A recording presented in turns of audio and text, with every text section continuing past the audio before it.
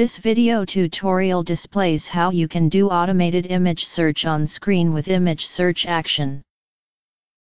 Once the image to be searched is found on the screen, you can execute a macro script or execute a command to launch an application or even click on it. The automated image search can be really handy when you want to click on moving objects on the screen, like a sprite in game or a button on browser which changes screen location. For testing purpose you can move mouse cursor with image search so as to find out how and where the automated image search is performed by the image search of Auto Mouse Click by MurGee.com. Download the free trial of this Windows automation software and auto-click on moving objects on the screen with image search action.